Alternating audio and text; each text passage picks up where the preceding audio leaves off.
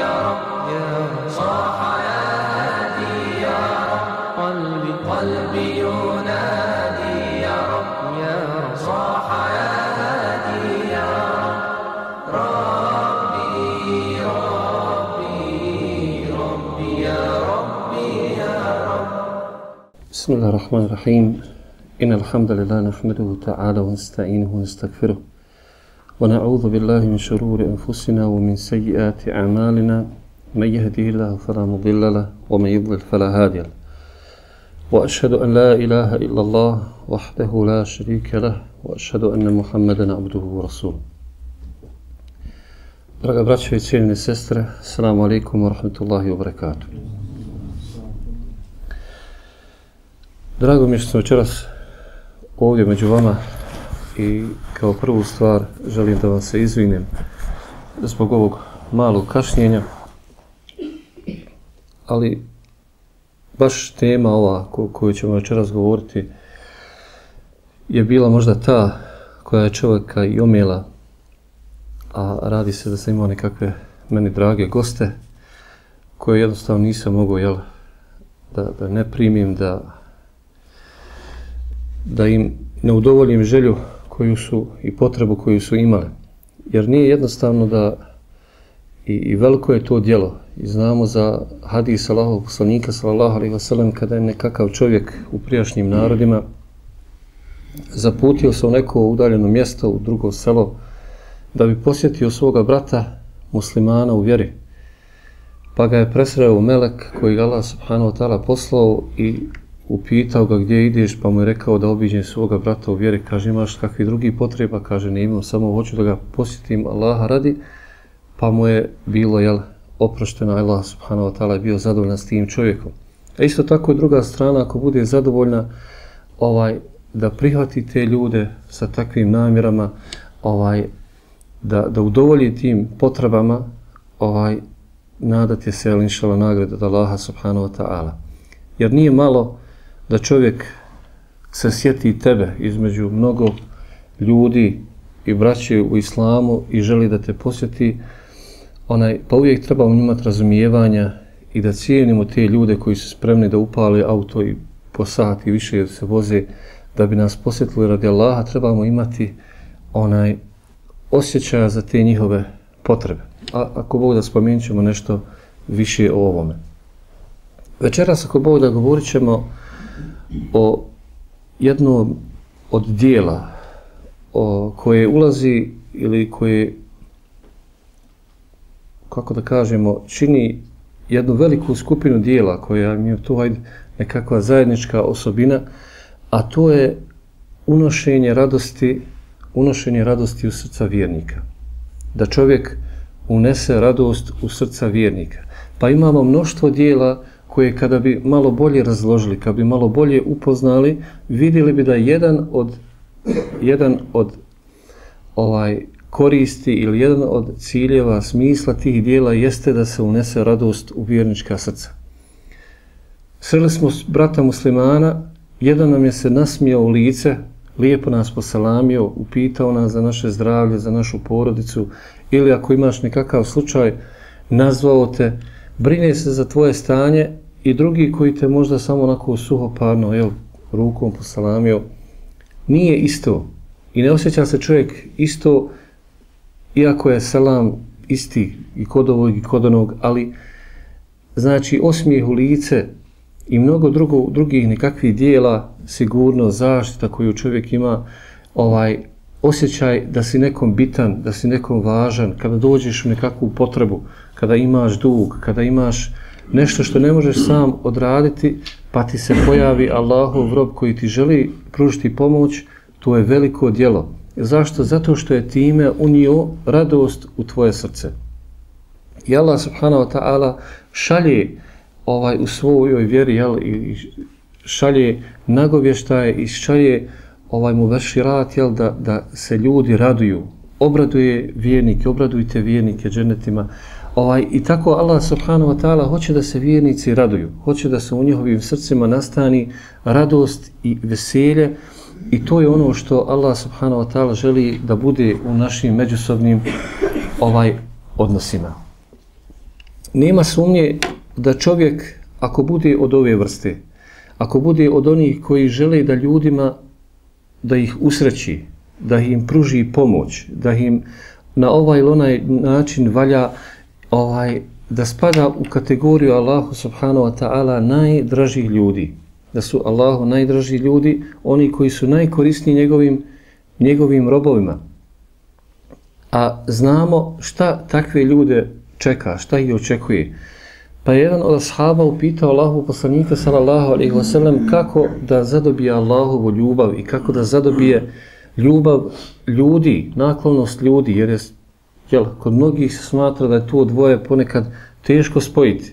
Da te Allah voli i da te ljudi cijene. Da te voli, da te uvažavaju i poštuju. Jer među njima ima ljudi koji su privrženi vjeri, koji su vjernici, koji su to manje ili više, manje, ili koji su nevjernici. Ali opet, kaže Allahu poslanik sallallahu alejhi ve sellem u odgovoru da je moguće da čovjek zadobije ljubav, naklonost, pažnju, uvažavanje ljudi. Pa kaže ovaj izhed fi dunja yuhibbukallah. Kaže budi skroman, sustegni se od dunjaluka, nemoj tešti dunjaluku, Allah će te zavoliti. A nemoj sustegni se ili izbjegavaj ono što je u rukama ljudi, on će te zavoljeti. Nemoj tešti da ti uzmeš od njegovog imetka, da uzmeš od njegovog položaja, od njegovog ugleda, da uzmeš od ovog ili onog što on smatra svojim ovaj privatnim i vlastitim, ljudi će te zavoljeti, ljudi će te uvažavati, jer ne imaju razloga da te mrzi. A šta mislite kada čovjek poviš ovog bude od skupine ljudi koji žele da ti pomognu, ne traži od tebe nikakvu nadoknadu, čak više šta više i ne znaš da ti pomaže, ne znaš da ti je možda nekada pomogao u životu, nije da to kaže, da te ne budi stid možda njegovog prisustva i tako dalje. Kada si u osustvu, dovi za tebe, Allahu subhanahu wa ta'ala, kada si u muci, ovaj, dovi i na taj način pomaže i tebi, a i sebi kao što je poznato. Ljudi su oko nas potrebni ovakvih ljudi. Ljudi koji neće nas samo osuđivati, jer najlakše je doći čovjeku i iskritizirati ga, ovaj pros, osuditi ga ovim ili ovim ovaj prozvati ga ovim ili onim imenima ovaj i ljudi to ne žele žele neko ko će ih saslušati ko će ih pomoći ko će ih dati nekakvu potporu pomoć skoro sam slušao nekakav video klip gdje jedan od šehova ako onako malo hajde kažem nalik na našeg šeha Pezića onaj zna se našaliti i takvi su mu onaj i drsovi prožeti tim nekakvim situacijama, pa kaže da je došao jedne prilike posjetio Egipat. A znamo jel, da tamo oni su, malo im fali da nešto zasviraju, zapjevaju, znači to je kod njega u krvi. Ovaj, kaže, i on izlazi ujutru na sabah, ovaj, izlazi iz lifta, kaže, kad pred njim stoji ova plesačica, kaže u onoj svojoj opremi, kako izgleda ovaj, na sceni, takva je, kaže, i pred njim. Kaže, ona se prepala, kaže, izvini me ulaj, susteže se, kaže, ide u stranu, kaže, ja ne selam, selam alaikum, kaže, kako si, sestro? Kaže, ona gleda, ovaj, pa kaže, jel ti sa mnom pričaš, kao pričam s tobom? I on je malo sa njom pričao, kaže, mogu te nešto upitat? Pa kaže, pitaj, kaže, da li ti klanjaš? Pa kaže še, kakva veze, sad ja sam plesačica ovamo, nema to veze sa namazom, kako će ja sad klanjati i to raditi? Kakve to ima veze? Ti, ako to radiš, što je inače, kaže, veliki jel, grijeh, ovaj, ne smijete da klanjaš. Pa kaže, može li to? Pa kaže, može. A kaže, meni govori da sam ja kjaf, da sam onaj, izašla iz minuta, pa kaže, i on je tako objašnjavao i ne znam šta je bio rezultat svega toga konačnica, ali ljudima je potrebno, jel, da, da ga neko sasluša, I mnogi mi znamo da smo mi na greški. Da imamo ko sebe i grijeha i, i slabosti i ovog i onog. Ali ipak nam je drago kada ima neko ko će nas prihvatiti takve, posavjetovati. Onaj prušti nam, prušti nam ovaj potporu. E, da bi shvatili, jel, da bi razumjeli koliko je ta tema velika, koliko je a, e, značaj ovih dijela da čovjek pruži pomoć ovaj nekome. Znači, nećemo za početak ćemo ostaviti ljude po strane, muslimane pogotovo, jel, kao najvrednije Allahove subhanahu wa ta'ala robove e, na zemlji, ali ćemo se malo okrenuti ovamo prema životinjama. Mi znamo da je poslanik sallallahu alejhi ve sellem u mnoštvo hadisa govorio o lijepom postupku ovaj prema hajvanima, prema životinjama.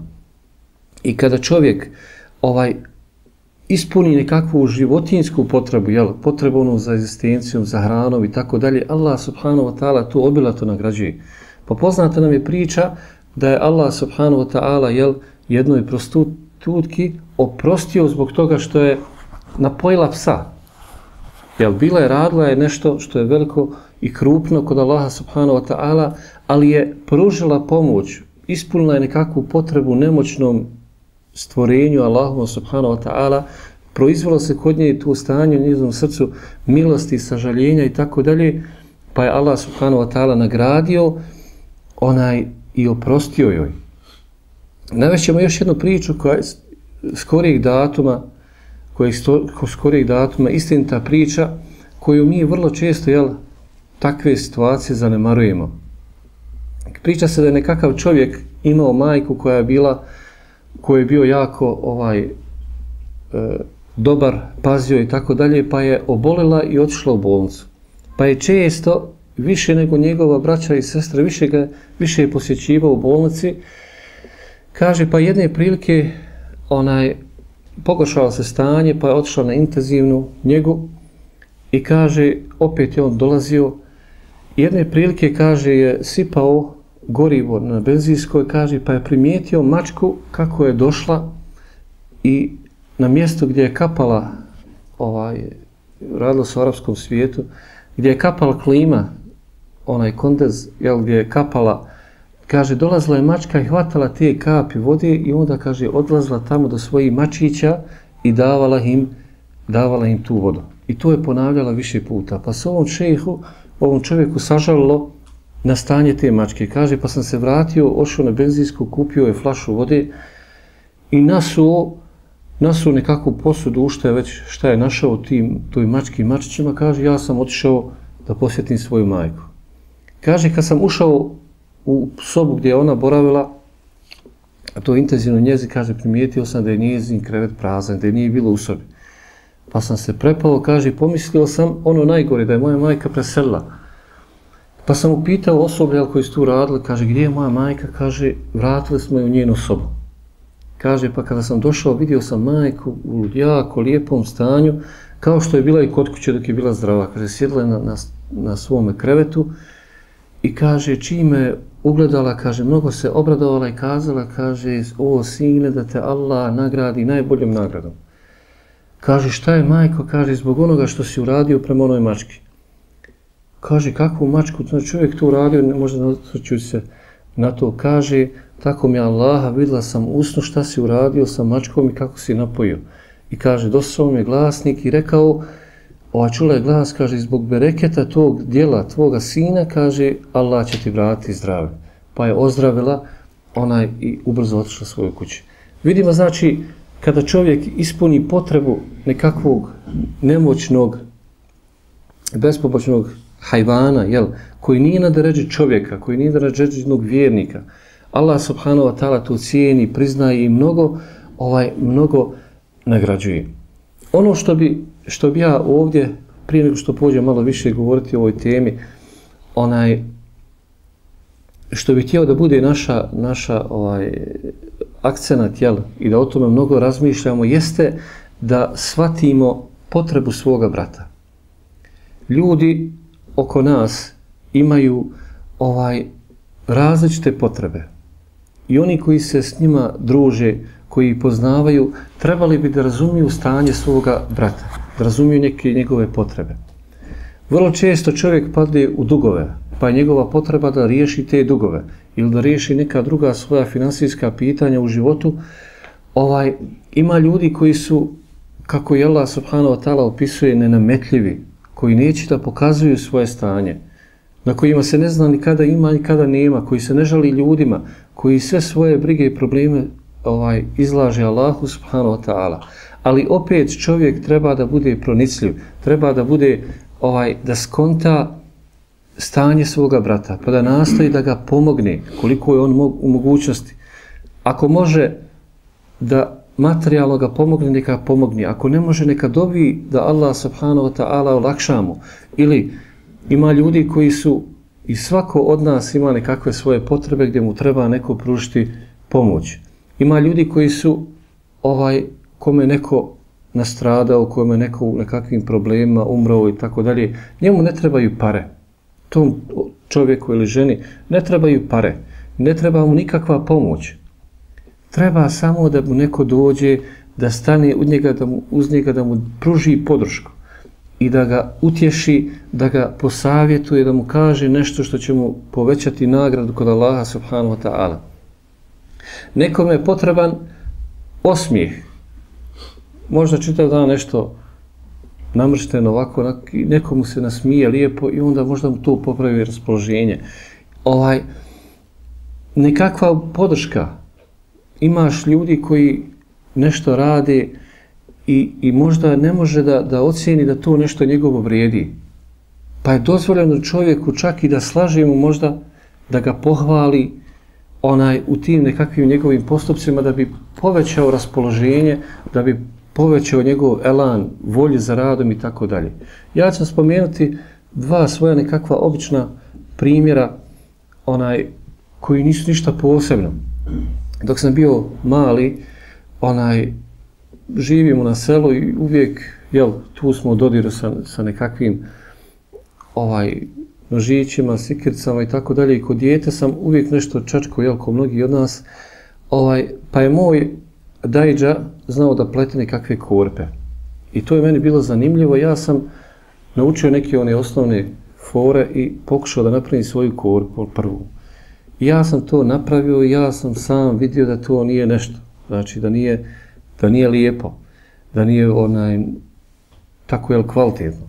I onda sam to pokazao svojoj majici koja je imala ovo nekako predznanje, ovo iako ona to nije sigurno poznavala svjetske strane, pa kaže to je prelijepa kod, pa kako se to napravio, jako mi se svilo, šta mi je sve već nalagala, ona, ja sam stvarno shvatio da je to dobra korpa i onda sam posle toga napravio još par tih korpi, korpica za, za, za voće, zašto je već bilo. A da mi nije ona to rekla, sigurno ne bi napravio. Poslije toga desila mi se slična stvar, onaj, da sam preveo nekakvu knjižicu i vidim ja, nije to, ban, to. I hajde, dajam ja jednom našem šehu, daj, da pogledaj, onaj, šta misliš, i kad on meni to počeo falit, ko na sudenu kravu, stvarno ja vidi kao dobra i onda sam ja se onaj ohrabrio i počeo recimo da radim ovaj na, na tom polju. Dakle, vidimo jel, da svako od nas dođe u situaciju da mu potrebno prušti nekakvu pomoć. Pa vidjet ćemo koliko je to veliko djelo kod Allaha subhanahu wa ta'ala. Evo sam još da kažem, onaj, kada je u pitanju kada je u pitanju ta različitost u potrebama, A, isto tako, nedavno sam onaj, nedavno sam negdje krenuo i pokvarilo mi se autoput. Jedva sam ja došao do Mehančara i ostavio ga tu i kad je Allah tako odredio, nisam imao ni telefona, zaboravio telefon, niti ja mogu koga nazvat, niti mogu koga. I onda sam ja počeo da pješačim. Pa mi je naopalo svaki onaj kred kojeg sam ja prošao, možda nekad je nezgodno imaš porod u autu, hoće li ljudi razum, neće, pa čovjek možda prođe. Nekad nisi očistio auto, pa ti nezgodan neće neko nešto kazati, pa prođeš. Nekad si onako nezgodan, pa prođeš pored ljudi i onda meni na um padne da to nije ni malo jednostavno. I tada da mi neko došao i rekao, evo ti 10 maraka, 20, 100 maraka, ništa mi to ne bi značilo. Ali da me je povezao na biciklu, možda bi mi bilo drago. Onaj, I tako kada vidimo ljude A poslanik sallallahu alejhi ve sellem je govorio da ljudima kada vidimo jel nekog ko ima potrebu za jahalicom, a imaš viška mjesta da ga povezaš ili da ga staviš na svoju jahalicu. Dakle, onom koji, koji je potreban auta, koji je potreban prijevoz, njemu ništa ne znači tvoj lijep posmijeh iz auta. Da mu se lijepo mahneš mu, ništa mu ne znači. Ovaj, I to nije njegova potreba. šta više možda ćete zamrsti zbog toga, nego je potrebno ti staneš ili šta više kada se možda prisjetiš poslije da se vratiš i u rikvrc, onaj, i neću zaboraviti nikada onaj, dok smo išli u školu, kao djeca, krenuli smo u srednju školu i nije bilo prevoza, niti bilo para da se možda to i plati. Bili smo oni nekakvim, u ratu je to bilo, ovaj, trošnoj obući koja prepuštala vodu, kišu i snijeg i tako dalje. I ja, jedan moj prijatelj, smo išli, znači tako neki deseta kilometara svaki dan, gori dol. Ovaj, I mi jednom naišli i prođu nas, bio je kamp Arapa kod nas gore, i prođu nas Arapi i vrati se u Rikovac jedno 100-200 metara poraj nas i stave nas u džip. I prvi put mi sjedimo sa Arapima, povezli nas.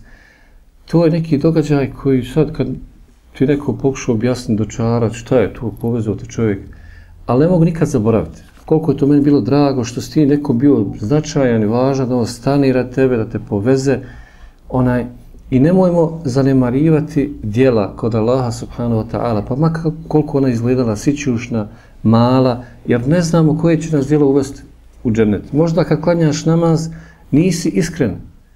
Nisi iskren i tvoj se namaz ne digne.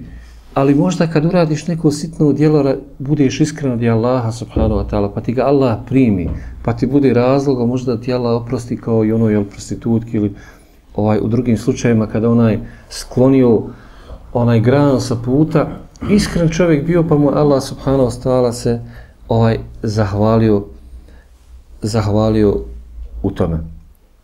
Još jedna stvar, prije nego što nešto više kažemo o, o ovim samim dokazima i nečem hadisima, nemojmo očekivati nagradu od ljudi za to. Znači, pokušajmo da svoju iskrenost ispunimo do kraja, onaj,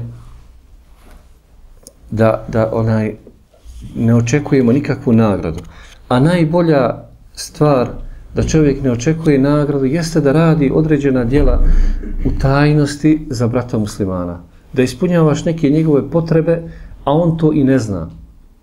Tada si daleko sigurniji u svoju iskrenost, pa da dobiješ za brata muslimana da ti ovaj da mu Allah olakša njegove probleme, da mu olakša nešto što znaš od njegovih teških materijalnih ili ovih ili onih problema, ovaj da sačuvaš njegovu čast u osutnosti, da ga otbraniš kada ga neko bude gibjetu ili spominjao po lošim, ovaj, sve se to ubraja, sve se to ubraja u, u ovu vrstu dijela, jel?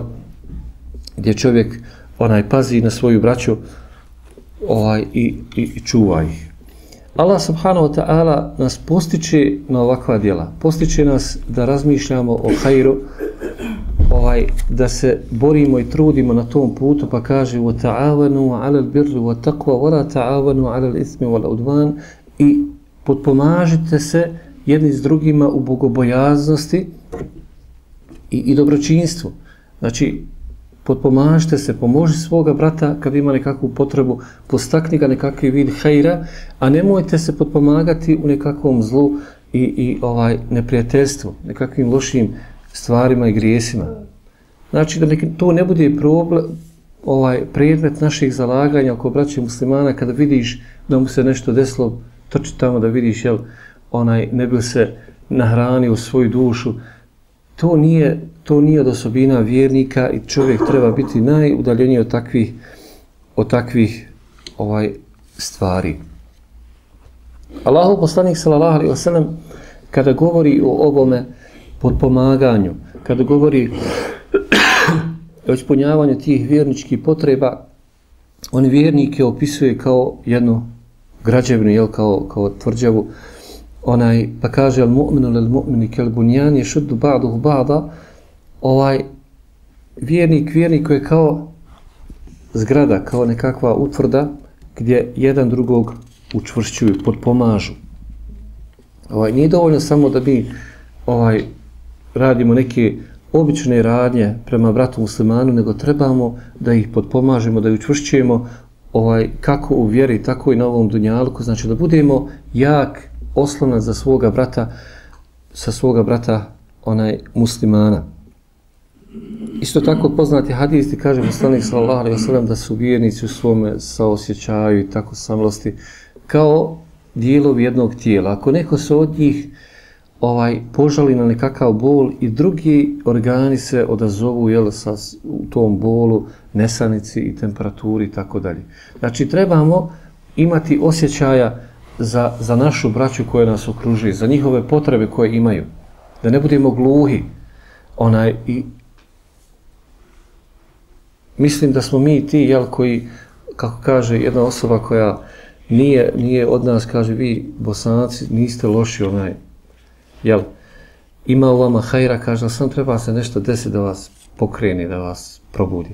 I možda smo mi zaista takvi, onaj, da nas treba ovako vrlo često ili sa ovim dokazima, onaj malo po ušima, ili da nam se nešto desi da bi mi shvatili onaj, da trebamo suosjeća se sa potrebama svoga brata muslimana. I da nije samo on na dobitku kada mi njemu pomoljemo, da smo prvenstveno mi ti koji koji smo se okoristili od svega toga.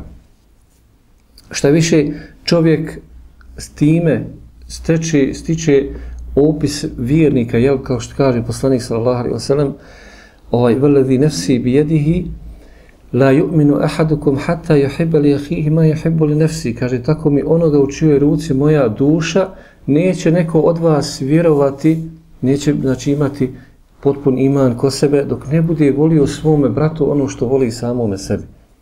Da voliš svome bratu ono što voliš i samome sebe. To je znači, taj opis se stiče, znači jedan je put do toga i ovaj, znači da razmišljaš, da voliš njemu ono što voliš i samom sebi, da ga ne mrziš, da ga nastojiš pomoć i tako dalje. Dakle, nije samo ovo, jel, pomoć uh, u, u, kada vidimo da je čovjeku potrebna pomoć u nekakvom hajru, šta više kada ga vidimo i u nekakvom zlu, on je isto tako potreba naše pomoći.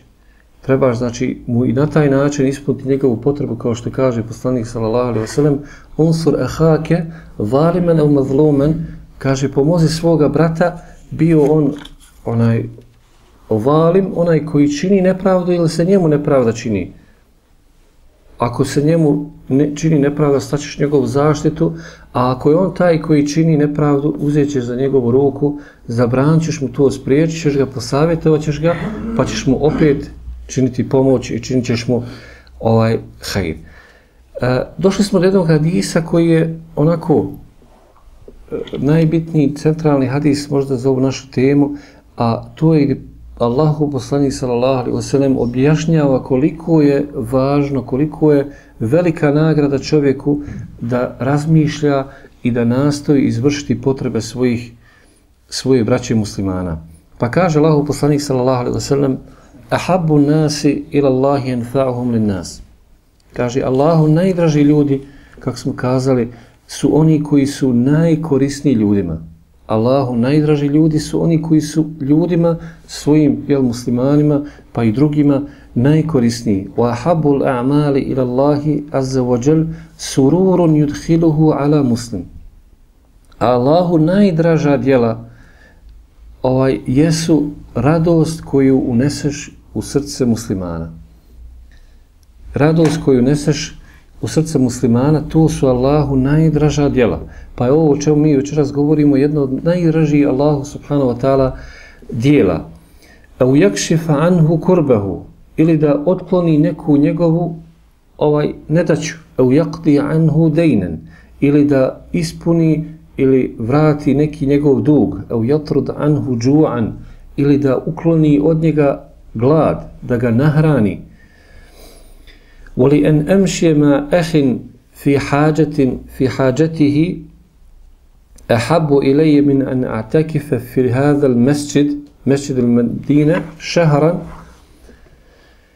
kaže a da odem sa svojim bratom radi neke njegove potrebe draže mi nego da mjesec dana budem u itikafu u ovom mesčidu u poslanikovom sallallahu alaihi wasallam mesčidu u kojem namaz vredi toliko u kojem jel, ja, sjedenje vredi toliko, kamoli itikaf, onaj kaže mjesec dana omen kefe gadabahu satara Allahu auratehu, ako ovaj svoju srđbu ukloni Allah subhanahu wa ta'ala će njegovu, njegovu sramotu skloniti ومن كتم غيظه ولو شاء أن يمضيه أمضاه ملا الله قلبه رجاء يوم القيامة ako svoju srđbu ovaj suzbije a može da je da je onaj da je ispolji Allah subhanahu wa ta'ala će mu dati njegovo srce će ispuniti nadom na sudnjem danu i još kaže ومن مشى ما أخيه في حاجة حتى تهيأ له أثبت الله قدمه يوم تزول الأقدام I kaže, ko bude išao ovaj, u nekakvoj potrebi svoga brata, radio nešto da mu izvrši nekakvu njegovu potrebu dok je ne, ne upotpuni, kaže Allah subhanahu wa ta'ala će učvrstiti njegova stopala na sudnjem danu kad budu posrćala druga stopala, kada budu noge posrtale.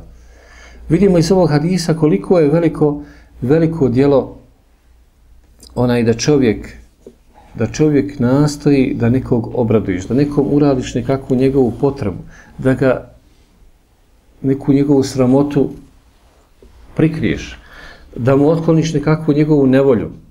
I sve što pomene Allahu poslanik sallallahu alejhi ve sellem pomene i nagradu, šta ćeš ti za uzvrat dobiti jel ako budeš od onih koji to ovaj koji to uradi.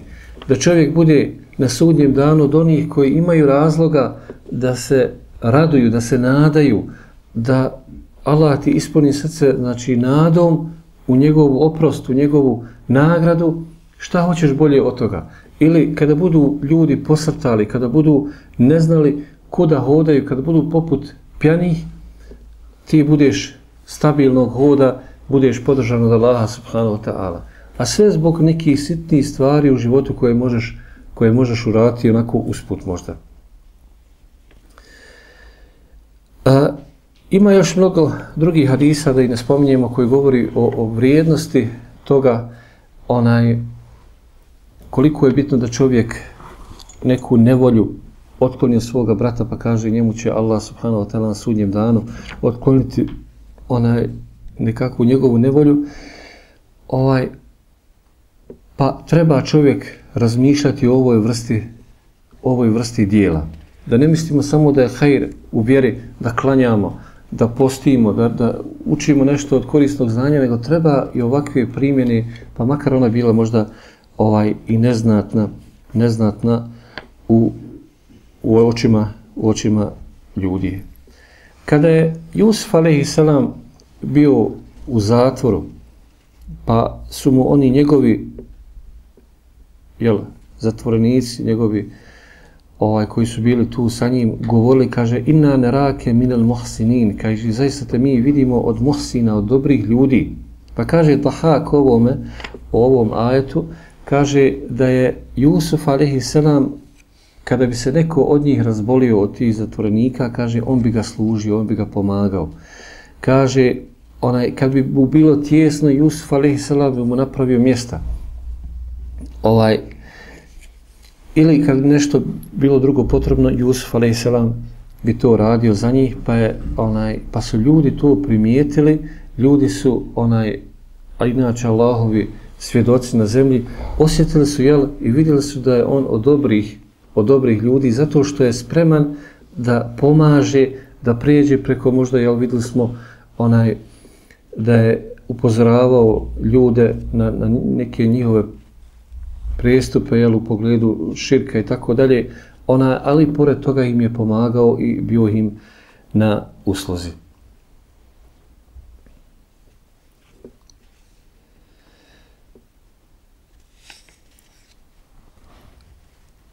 Kaže Wahib ibn Munabbih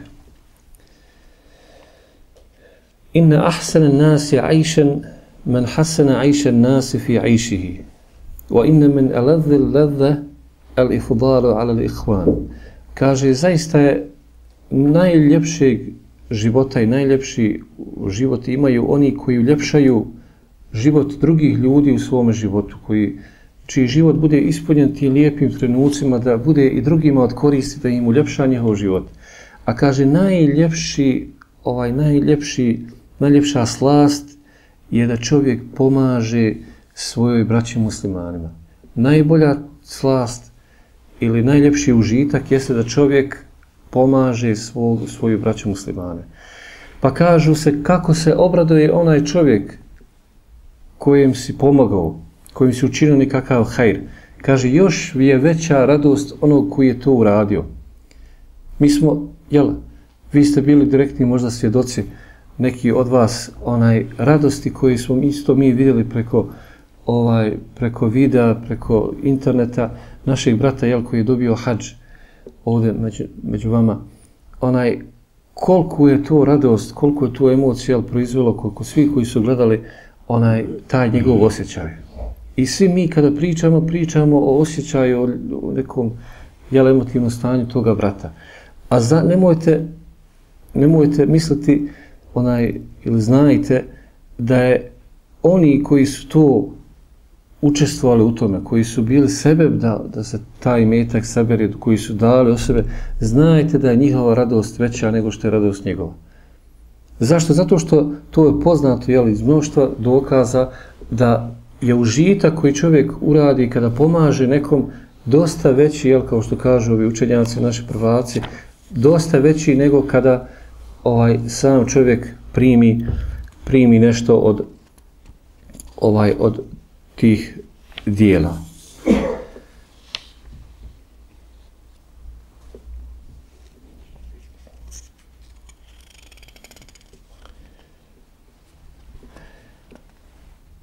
E, od koristi od koristi tih o, takvih radnji da čovjek pruži podršku svome bratu muslimanu, da ga pomogne, da ga sačuva, da, da mu bude na usluzi, jeste da čovjek na taj način čuva samoga sebe ili radi prvenstveno za svoj dobrobit.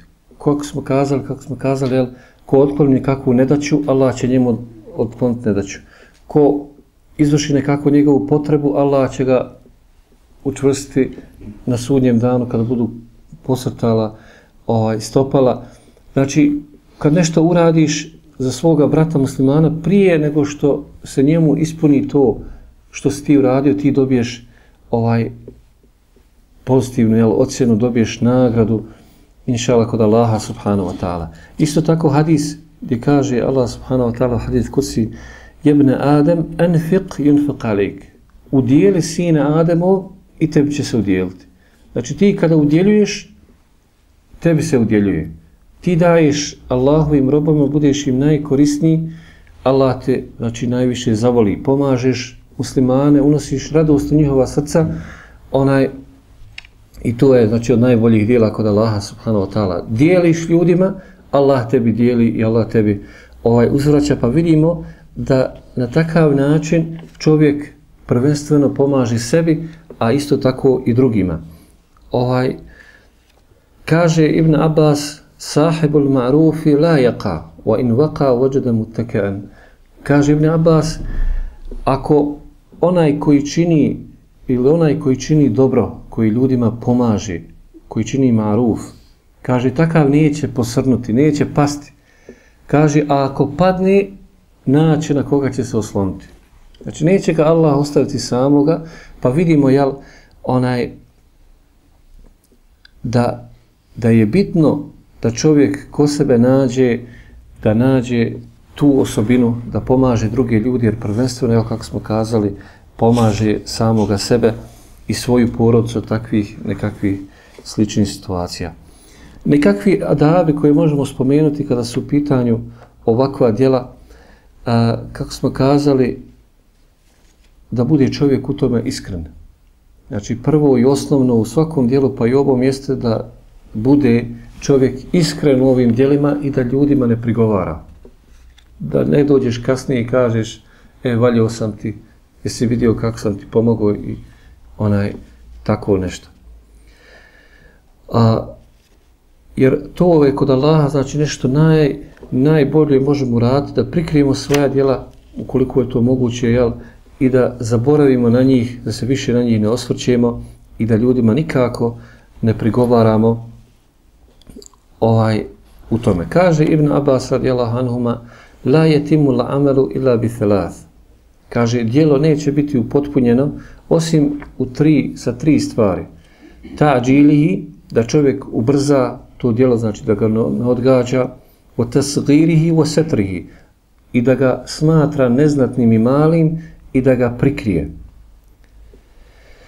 Znači, to su stvari koje treba čovjek da ima, da ima pri sebi.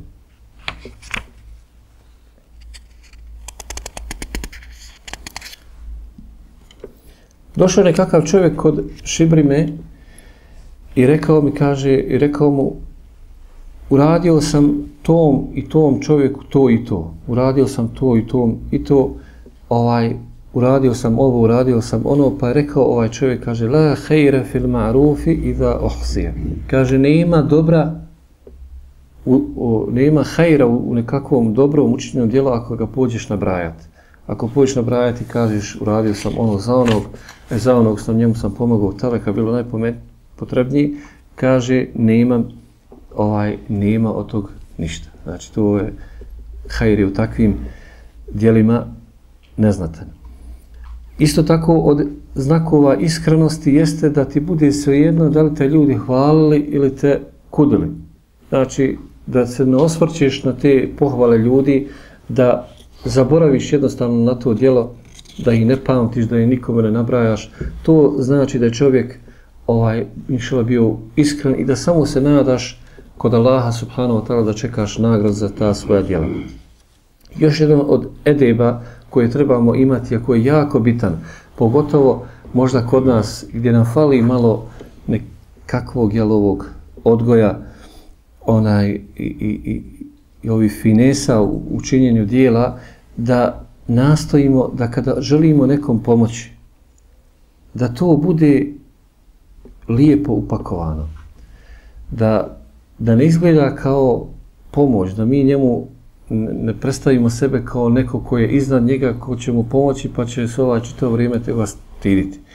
Kaže se da je došao nekakav čovjek, bio sa svojim sinom i kaže kad god bi išli pred džamiju gdje se nalaze nekakvi prodavači, kaže uvijek bi moj otac kupovao one stvari koje je htio da kupi od tih trgovaca, kaže po većoj cijeni nego što su oni tražili.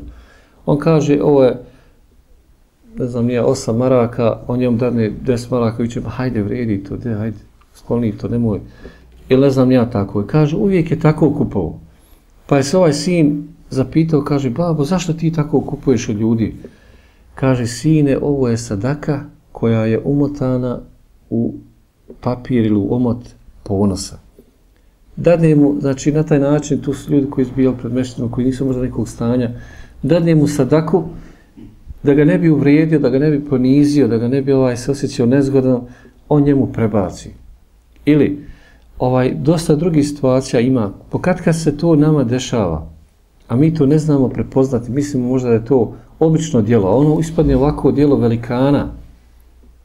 Ja znam, meni se x puta desilo, čovjek prolazi kroz razne neke ovaj situacije u životu, nekad imaš, nekad ne imaš, pa ljudi to koji te poznaju ponekad znaju da da ovaj primijeti, da ocijeni, pa ti pomogne na nekakav indirektan način, želi da ti pomogne, a neće da te uvredi, neće da te ovaj osramoti ili da te se osjećaš neugodno, pa kaže jedna od lijepih načina koji ovaj neki upražnjavaju, dođe pa podijeli djeci onaj više nego što se inače daje djeci. Da, su djeci marka dvije, jel, a neko da možda i više po 10-20 maraka da onaj zna da će se ti s tim koristiti, da ti njemu nećeš ako imaš nekakvu potrebu kupovati neke igračke bezvezne, onaj, nego ćeš to opet vratiti ili to djeci u nekom drugom vidu hajra, ali na taj način ti pomogne. Ili ako imaš nešto da kupuješ, ovaj, da možeš prodat, kaže, hoću da kupim od tebe, ne znam ja, hajde ovi sa sela, kaže, jaja ili neki mliječni proizvoda, pa umjesto da ti plati u markama, on plati u eurima. Kažem, hajde, vrijedi to, kaže, ja sam se zaželio toga, možda nekdo vani, kaže, otkad ja to nisam jeo, daj, djeci, ovako, onako, uglavnom ima ljudi koji ti hoće pomoći, onaj, ali ne želi da se ti osjećaš neugodno. I jako je bitno da čovjek ima ko sebe razvijenu tu osobinu, da druge ljude, e, izvinite, da ljude ona, i kada im valjaš da ih ne osramotiš, da ih ne poniziš ili da ne osjeti ko sebe onaj nešto neugodno. Spominje se da su naši prvaci imali razvijene razvijena čula za ove stvari. Pa kaže da je Ali radijallahu anhu dok je bio halifa, došao nekakav čovjek i kaže imam nekakvu potrebu koju sam želio da mi ispuniš. Kaže uzmi tu svoju potrebu i napiši na zemlji, na pijesku. I Ali ja se okrenuo. Kad je završio, jesi, kaže, haj sad možeš ići. I kad je otišao, Ali radijallahu anhu pročita šta je ovaj tražio. Pa reče ovim svojim ovaj, koji su bili uz njega, kaže, ispunite potrebu ovog groba. Pa su ga pitali zbog čega su to uradio tako, kaže, nisam želio da vidim ovaj poniznost na licu svoga brata predavno. Znači, nisam smatrali vrednim da ovaj ponos koji Allah subhanahu wa ta'ala dao na lice vjernika, nisu željeli da se pred njima ponizi. Ili dolazi čovjek kod Omer ibn Abdelaziza i kaže imam nekakvu potrebu kod tebe, kaže ovo, ugas svjetlo. Kad je ugasio, kaže, hajde reci šta hoćeš. I on njemu kaže, treba mi to i to. Je završio kao jesam, upal svjetlo. I onda mu dadni. Pa kažu, zašto si to uradio? Kaže, ne želim da vidim isto kao i ovi, da vidim koli, onaj poniznost tijela na svome bratu.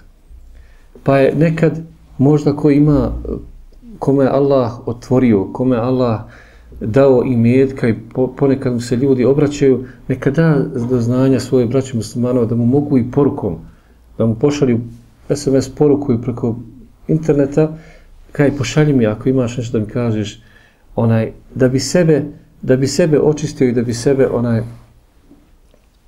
ovaj, da bi sebe uzdigao kod Allaha subhanahu wa ta'ala.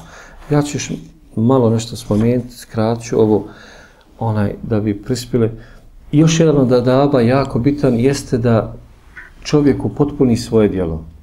Da upotpuni svoje djelo jer znamo da je to kod Allaha subhanahu wa ta'ala od najljepših dijela da čovjek kada nešto radi da ga upotpuni. Onaj da ga završi kako treba. Kao što rekao poslanik sallallahu alejhi ve sellem. Znači ovaj da se uvijek sjetimo ovog kako je rekao poslanik sallallahu alejhi ve sellem. Ja ću spomenuti kako mene to djeca koriste, al u svoju korist. Onaj kad sjede za sofrom ili negdje gledaju televizor, tamo vam, pa zauzmu neko bolje mjesto, poziciju, pa mu se nešto desi, pošalje ga mati da nešto odradi i vrati se kad zauze to. Kaže, znaš li što je rekao poslanik? Onda on sad i šehovi znaju da je poslanik rekao da je mjesto nekog kad je ovdje potrebe pa se vrati, da mu pripada onaj, a i mi da se uvijek sjetimo šta je rekao poslanik, onaj, da upotpunimo djelo, jel, kada ga radimo. Imamo jedno, jedno mi ko sebe boljku, ja je duže vremena primjećujem kod nas, da ovako nekad dođemo nekom bratu muslimanu s nekom svojom potrebom, ili je on nešto ti treba popraviti, ili nešto uraditi, ili ne znam nija, i on vidi, jel, zna otprilike da bi trebao tebi tu pomoći. I on hoće o sebe da uradi neki, nekakav hajr. Kaže, ma ja ću to tebi uhajr, ili neću ti ništa naplatiti, gdje ću tebi naplatiti, ovako na. Uglavnom hoće da uradi nešto onaj radi Allaha. No međutim, ti kasnije vidiš da možda on nije bio dovoljno iskren u toj svoje namjer. Pa nikad to tvoje djelo da se završi. Pa nikad. Pa ili se vidiš ti, nije to ko što bi trebalo biti, onaj, pa da mi ne budemo od ovih ovakvi ljudi. Kada nešto hoćemo uraditi radi Allaha, nemojmo da se to osjeti da to nije za pare. Kada ljudi smatraju da si najviše pogodio, najbolju, jesi najbolju onaj računci tu pogodio, najbolji posao, onaj i da nadugovlačimo sa tim, da uradimo ga, znači, kao da je pretplatio i, i unapred platio. Znači, da se ne primijeti to da je to dijelo radi Allaha, pa to nam otkrije našu iskrenost i vidimo onaj da smo mi da smo mi onaj ne znam onaj samo da još kažem ovo da spomenem a, da, da su kako su govorili naši prvaci Ibn Abbas radijallahu anhu govorio da ima ljudi koji on, kojima se on ne može zahvaliti. Jedan od tih ljudi kaže koji prepuštam Allahu da ga zahvali, da mu se zahvali, da ga nagradi, kaže, jeste čovjek koji je čitavu noć nije oka sklopio i razmišljao kako će da izvrši nekakvu svoju potrebu, pa se na kraju sjetio mene i došao ujutru meni i izložio mi svoju potrebu. Od svih ljudi koje je poznavao, odabrao je tebe zbog hajra, jel, koji zna ti poznaje, da mu ti lično izvršiš tu njegovu potrebu. Pa je to od velikih dijela kad se neko obrati s potrebom, trebaš da se zahvališ njemu i da tražiš od Allaha subhanahu wa ta'ala da, da mu ga nagradi kada je tebe ovaj odabrao da budeš od onih koji su ovaj kojima je posvećeno jel, to tako veliko djelo. Molim Allaha subhanahu wa ta'ala da vas nagradi za ovaj trud i još jednom se izvinjavam što sam ovako možda ovaj, odužio i, i ovo moje kašnjenje, ali molim volio bi da razmislimo o ovom dijelu, o ovoj vrsti dijela, jer zaista su bitna za nas, muslimane, pogotovo nas ovdje u Bosni, koji, kojima fali ti jel, finesa i, kako smo kazali, ti nekih ovaj, savršenstva jel, nekakvog ili potpunosti u dijelima. Ođe zakom, Allahu, kulu hajra.